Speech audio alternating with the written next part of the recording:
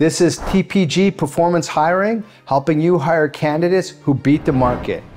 What is one way to ensure that you repel any top performers from your hiring process?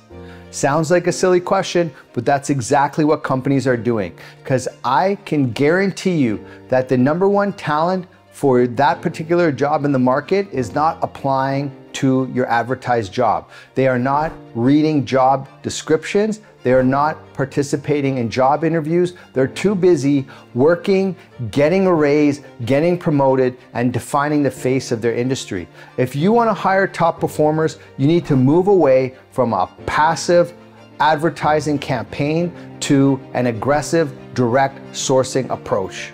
And that is how you're going to start hiring the best of the best.